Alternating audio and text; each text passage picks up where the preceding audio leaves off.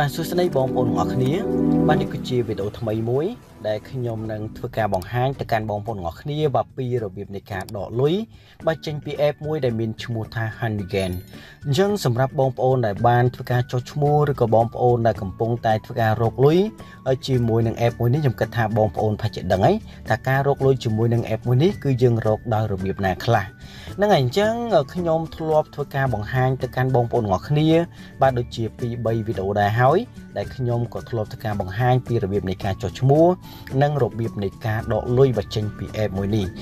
សម្រាប់ app មួយនេះខ្ញុំសូមបញ្ជាក់ម្ដងទៀតសម្រាប់បងប្អូនដែលបានធ្វើការចុះឈ្មោះជាមួយនឹង app មួយនេះថ្មីថ្មីឬក៏បងប្អូនដែលមិនទាន់បានធ្វើការរកលុយជាមួយនឹង app មួយនេះណាសម្រាប់ app Hanigan មិនមែនជា app មួយដែលបងប្អូនទាំងអស់គ្នាអាចធ្វើការរកលុយបានបាទក្នុងពេលមួយថ្ងៃ4 10 20ដុល្លារឬក៏ក្នុងមួយខែរាប់រយដុល្លារទេវាគឺជា app មួយដែលបងប្អូនទាំងអស់គ្នាធ្វើការរកលុយដោយគ្រាន់តែធ្វើការបើកនៅអ៊ីនធឺណិតមានន័យថាយើងធ្វើការសន្សំ បាទជាប្រភេទបាទមេហ្គាបៃដែលយើងបានធ្វើការបើកបាទអ៊ីនធឺណិតចោលនៅក្នុងទូរស័ព្ទដៃរបស់យើងនេះយើងបើកចោលទៅបានប៉ុណ្ណាគឺយើងនឹងនិយាយទៅគឺរយៈពេលមួយថ្ងៃគឺវានឹងធ្វើការដូរបាទជាប្រភេទមេហ្គាបៃនេះទៅជាលុយឲ្យយើងវិញហើយដូចខ្ញុំបងប្អូនផាច់ជាបានឃើញបាទគឺនៅពេលនេះគឺខ្ញុំទទួលបានចំនួន43ដុល្លារ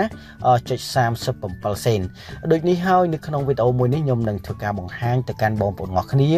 ពីរបៀបនៃការដកលុយចេញពី app មួយនេះប៉ុន្តែសម្រាប់ការដកលើកនេះខ្ញុំមិនមែនធ្វើការបង្ហាញទៅកាន់បងប្អូនទាំងអស់គ្នាធ្វើការដកតាមរយៈ PayPal ទេទេដោយសារតែ app Honeygan គឺវាមានការអាប់ដេតថ្មីគឺបងប្អូនអាចធ្វើការដកតាមរយៈបាទ PayPal ក៏បានឬក៏យើងដកបាទចេញជាលក្ខណៈកាក់បាទជាប្រភេទកាក់ Bitcoin ណាបាទយើងដកអញ្ចឹងក៏បានដែរនេះគឺជាជំរើសរបស់យើងសម្រាប់បងប្អូនដែលមិនទាន់ឬក៏បងប្អូនដែលមិនចេះបង្កើតទៅលើគណនី PayPal ទេបងប្អូនក៏អាចយកជំរើសមួយនេះបានដែរអឺសម្រាប់កាក់ Bitcoin បងប្អូនប្រហែលជាបានដឹងហើយបាទវាគឺជាប្រភេទកាក់មួយដែលឡើងថ្លៃហើយនឹងចុះថ្លៃបើសិនជាយើងសន្សំវាក៏ល្អមួយយ៉ាងដែរណាបើសិនជាយើងមិនមាន PayPal ទេហ្នឹងហើយអញ្ចឹងខ្ញុំសូមបញ្ជាក់ឡើងវិញ សម្រាប់ការរកលុយតាមអនឡាញគឺជាការរកលុយដោយមានការសន្សំមិនមែនចូលមកភ្លាមយើងរកលុយបានច្រើនក្នុងពេលមួយថ្ងៃឬក៏រយៈពេលមួយខែយើងរកបានរាប់រយដុល្លារទេដូចដូចខ្ញុំបានបញ្ជាក់នៅខាងដើមនៃវីដេអូអញ្ចឹងណាអញ្ចឹងសម្រាប់ការរកលុយជាមួយ app Honeygan នេះវិញបើសិនជាកន្លែងយើងវាមានអ៊ីនធឺណិតល្អបងប្អូនគ្នាបើកចោលទៅគឺយើងនឹងទទួលបានចំនួនមេហ្នឹងក៏វាច្រើនហើយយើងក៏ទទួលបានចំនួនលុយច្រើនដែរហើយបងប្អូនខ្លះគាត់ខ្លាចថានៅពេលដែលបើកអ៊ីនធឺណិតចោលជាមួយនឹង app Hanigan នេះគឺវាអស់លុយច្រើនតែក៏ប៉ុន្តែគឺអត់ទេណាខ្ញុំធ្លាប់ធ្វើការបើកហើយបាទគឺនិយាយទៅគឺខ្ញុំប្រើប្រព័ន្ធ smart នៅពេលដែលខ្ញុំដាក់ក្នុងមួយអាទិត្យបាទ1ដុល្លារណាគឺវាមិនដែលអស់ទៅណាទេណាគឺវាមិនអស់ទេនិយាយទៅការរកលុយជាមួយនឹង app មួយនេះ គឺវាល្អមួយយ៉ាងដែរបើសិនជាបងប្អូនទាំងអស់គ្នាបើកអ៊ីនធឺណិតចោលសម្រាប់តែ YouTube ឬក៏សម្រាប់ Facebook គឺយើងខាតអត់ប្រយោជន៍អញ្ចឹងទេបើសិនជាយើងជ្រុលប្រើ Facebook ហើយឬក៏យើងជ្រុលប្រើទៅលើ YouTube ហើយណាយើងក៏គួរតែមាន app មួយនេះដែរយើងទុកវាចោលទៅ យើងបានប៉ុណ្ណាគឺយើងយកប៉ុណ្ណឹងទៅព្រោះវា គឺជា app មួយដែលយើងត្រូវធ្វើការរកលុយដោយមានការសន្សំណាដោយការសន្សំតើឥឡូវបងប្អូនអរគ្នា កុំឲ្យខាតពេលយូរខ្ញុំនឹងធ្វើការបង្ហាញទៅកាន់បងប្អូនទាំងអស់គ្នាពីរបៀបនៃការដកជាប្រភេទកាក់ Bitcoin ជាមួយនឹង app មួយនេះតែម្ដងប៉ុន្តែខ្ញុំសូមបញ្ជាក់ដែរនេះគឺជារូបភាពនៃការ screenshot តែប៉ុណ្ណោះបាទដោយសារតែខ្ញុំ ខ្ញុំមិនបានធ្វើការបង្ហាញផ្ទាល់ដោយសារតែថ្ងៃមុនហ្នឹងវាមានបញ្ហាខ្លះបាទដូចនេះហើយខ្ញុំក៏ដាច់ចិត្តធ្វើការ screenshot វិញដើម្បីបង្ហាញទៅកាន់បងប្អូនគ្នា ពីរបៀបនៃការដកជាប្រភេទនៃកាក់ Bitcoin មួយនេះតោះឥឡូវសម្រាប់បងប្អូនដែលចង់ដឹងពីរបៀបនៃការចុះឈ្មោះបងប្អូនអាចចូលទៅខាងក្រោមនៃវីដេអូរបស់ខ្ញុំខ្ញុំធ្វើការដាក់ link ពីរបៀបនៃការចុះឈ្មោះជាមួយនឹង app Handygan មួយនេះសម្រាប់បងប្អូនដែលមានកាក់ហើយតោះអាចតាមដានជាមួយខ្ញុំកំឡុងពេលនេះតែម្ដង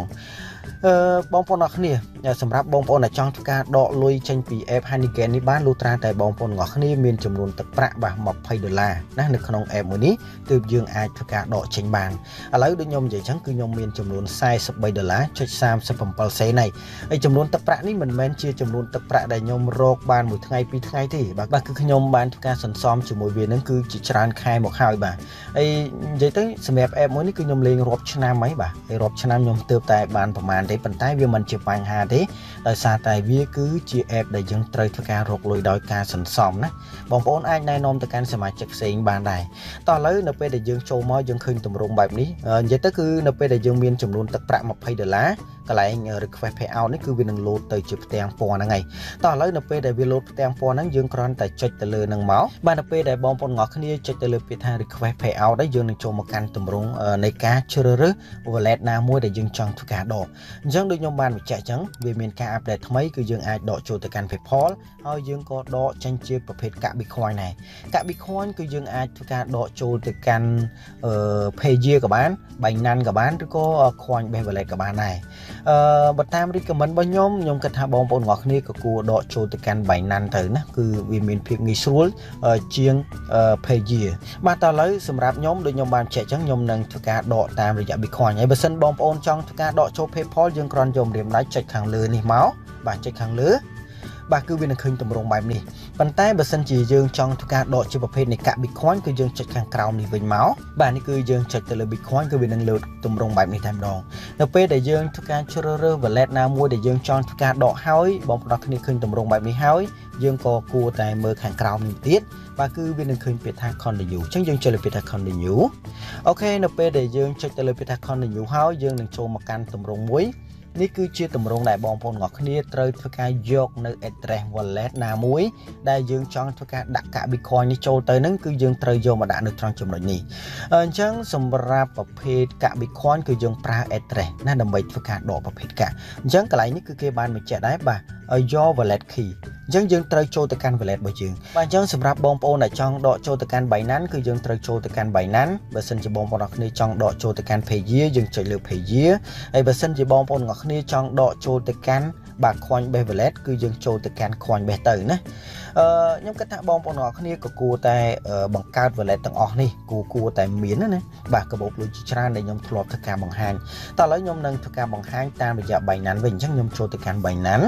បាទនៅពេលដែលយើងចូលទៅកាន់ Binance ហើយបាទនេះគឺជា Binance ហើយបើសិនជាបងប្អូនទាំងអស់គ្នាចូលមកកាន់ Binance នេះយើងនឹងឃើញពាក្យថា deposit បាទយើងចុចលើពាក្យ deposit ហ្នឹងមកហើយបន្ទាប់មកយើងនឹងឃើញប៊ូតុង search មួយនៅខាងលើយើងគ្រាន់តែបំពេញពាក្យថា B បាទ BTC អូខេ BTC គឺ Bitcoin ហ្នឹងហើយបាទអញ្ចឹងយើងចុចទៅលើ Bitcoin អូខេបន្ទាប់មកយើងនឹងឃើញ Bitcoin នៅខាងលើខាងក្រោមគឺយើងមិនចាំបាច់យកទេគឺយើងយកខាងលើយើងចុចមកបាទយើងចុច Bitcoin ហើយបន្ទាប់មកយើងនឹងឃើញកន្លែងនេះ បងប្អូនអ្នកគ្នាឃើញឃើញពាក្យថា copy ហ៎បាទកន្លែងនេះគឺជាមិនមែនពាក្យថា copy ទេបាទគឺផ្ទាំង copy អញ្ចឹងយើងចុចកន្លែងហ្នឹងអូខេយើង copy ជោគជ័យហើយបាទបន្ទាប់ពីយើងធ្វើការ copy ទទួលបានជោគជ័យហើយបងប្អូនអ្នកគ្នាគឺគឺយើងត្រូវចូលទៅកាន់ Hanigan របស់យើងវិញណាគឺ app Hanigan តោះឥឡូវយើងចូលទៅកាន់ app Hanigan បាទឥឡូវយើងចូលមកកាន់ app Hanigan ហើយបន្ទាប់ពីយើងចូលមកបងប្អូនអ្នកគ្នានឹងឃើញទម្រង់បែបហ្នឹងដដែលអញ្ចឹងយើងគ្រាន់តែយកម្រាមដៃរបស់យើងនឹងចុចសង្កត់កន្លែងនេះ ណាកឡោនហ្នឹងបាទយើងសង្កត់ទៅលើវាបន្តិចមកបាទបន្ទាប់មកបងប្អូនទាំងអស់គ្នានឹងឃើញពាក្យថាបាទផាសអញ្ចឹងយើងគ្រាន់តែយកម្រាមដៃរបស់យើងចុចទៅលើពាក្យថាផាសហ្នឹងមក address ហ្នឹងគឺវានឹងជាប់នៅត្រង់ចំណុចនេះតែម្ដងតោះឥឡូវយើងចុចលើពាក្យផាសបាទតោះឥឡូវនេះគឺជា address របស់យើងគឺបានជាប់នៅត្រង់ចំណុចហើយបាទគឺជា address របស់ Bitcoin ដែលយើងបានធ្វើការ copy ពី Binance បាទតោះឥឡូវអ្វីដែលយើងត្រូវធ្វើបន្តបងប្អូនគ្នានឹងឃើញពាក្យថា confirm បាទ payout អញ្ចឹងយើងចុចលើពាក្យ confirm payout ហ្នឹងមកបាទឥឡូវអ្វីដែលយើងត្រូវធ្វើបន្តបាននេះគឺជាដំណាក់កាលថ្មីមួយទៀតដែលបងប្អូនគ្នាត្រូវធ្វើបាទគឺបងប្អូនគ្នានឹងឃើញត្រង់ចំណុចនេះបាទគឺគេដាក់ថាបាទ we are send បាទ verify code បាទ to your email អញ្ចឹងមានន័យថាយើងត្រូវចូលទៅកាន់បាទចូលទៅកាន់ email របស់យើងដែលយើងបានធ្វើការចុះឈ្មោះជាមួយនឹង app Handigan មួយនេះ ណាអញ្ចឹងបើសិនជាបងប្អូនគ្នាធ្វើការចុះឈ្មោះជាមួយនឹង app Hanigan ហើយបើសិនជាយើងភ្លេច email ដែលយើងបានធ្វើការចុះឈ្មោះយើងក៏មិនអាចធ្វើការដកលុយនេះឬក៏យើងធ្វើការដកកាក់នេះចេញមកខាងក្រៅបានដែរតោះឥឡូវនៅពេលដែលយើងចូលមកកាន់ទម្រង់បែបនេះហើយយើងចូលទៅកាន់ email របស់យើងទាំងអស់គ្នា បាទឥឡូវយើងចូលមកកាន់ email បាទគឺជា Gmail នេះហើយអញ្ចឹងយើងចុចលើ Gmail ហ្នឹងមកបន្ទាប់មកយើងនឹងឃើញសារមួយដែលខាង Hanigan នេះបានផ្ញើចូលមកកាន់ email របស់យើងបាទនេះគឺជាសារមួយហ្នឹងហើយអញ្ចឹងយើងគ្រាន់តែយកម្រាមដៃរបស់យើងចុចទៅលើសារហ្នឹងមកប្រអប់សារហ្នឹងមួយមកបន្ទាប់មកបងប្អូនអរគ្នានឹងឃើញលេខកូដចំនួន6ខ្ទង់បាទនេះគឺជាលេខកូដចំនួន6ខ្ទង់ដែលយើងត្រូវយកទៅដាក់នៅក្នុងប្រអប់មិញហើយអឺបើសិនជានេះទេបងប្អូនទាំងអស់គ្នាយកម្រាមដៃរបស់យើងសង្កត់ទៅលើលេខកូដចំនួន6ខ្ទង់ហ្នឹងមក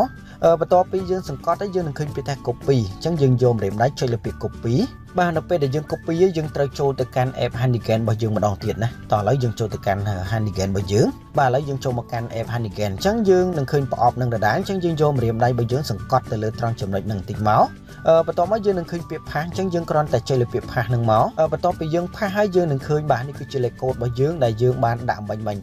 បើសិនជាបងប្អូនគ្នាមិនចេះ copy ទេយើងអាចយកលេខកូដម្ដងមួយខ្ទង់ម្ដងមួយខ្ទង់ចម្លងដាក់នៅត្រង់ចំណុចនឹងក៏បានដែរតោះឥឡូវបន្ទាប់ពីយើងដាក់រួចរាល់បងប្អូនគ្នាយើងនឹងឃើញពាក្យថា submit code យើងចុចលើពាក្យ submit code អូខេអញ្ចឹងយើងបានធ្វើការដកកាក់នេះឬក៏ដកលុយចេញពី app Hanigan គឺទទួលបានជោគជ័យហើយប៉ុន្តែលុយនេះឬក៏កាក់នេះគឺមិនទាន់ធ្លាក់ចូលទៅកាន់កាបូបលុយរបស់យើងបានភ្លាមភ្លាមទេមិញហ្នឹងគឺខ្ញុំភ្លេចបញ្ជាក់ទៅកាន់បងប្អូនទាំងអស់គ្នាបាទក្នុងការដកកាក់គឺគេបានបញ្ជាក់ដែរបាទគឺយើងត្រូវចំណាយពេលវេលាយ៉ាងហោចណាស់ក៏5ថ្ងៃក្នុងថ្ងៃដែលគេធ្វើការដែរអញ្ចឹងយើងមានតែធ្វើការរងចាំទេណានេះបងប្អូនគ្នាបាទគឺរយៈពេល5ថ្ងៃក្នុងថ្ងៃធ្វើការអញ្ចឹងនៅពេលដែលគ្រប់ថ្ងៃគេគេនឹងបាញ់លុយនឹងចូលទៅកាន់ wallet របស់យើងហើយយើងមិនចាំបាច់បារម្ភទេពាក់ព័ន្ធទៅលើ app Hanigan មួយនេះអូខេអ្នកទាំងអស់គ្នាឥឡូវនេះចំនួនទឹកប្រាក់ដែលខ្ញុំបានធ្វើការដកចេញពី app ដែលមានឈ្មោះថា Hanigan បាទនៅពេលនេះគឺខ្ញុំទទួលបានចំនួនទឹកប្រាក់ដែលខាង Hanigan នេះបានផ្ញើចូលបាទទៅកាន់ wallet របស់ខ្ញុំហើយហ្នឹងហើយអញ្ចឹងខ្ញុំបានធ្វើការដកជាប្រភេទនៃកា Bitcoin ហើយឥឡូវនេះខ្ញុំទទួលបានបាទ0 បាទចុចនេះបងប្អូនគ្នាប្រហែលជាបានឃើញបាទនេះគឺ0.0011ណានេះគឺជាប្រភេទកាក់អឺ Bitcoin ដែលខ្ញុំបានដកចូលទៅកាន់កាបូបលុយបាទ Binance របស់ខ្ញុំហ្នឹងហើយអញ្ចឹង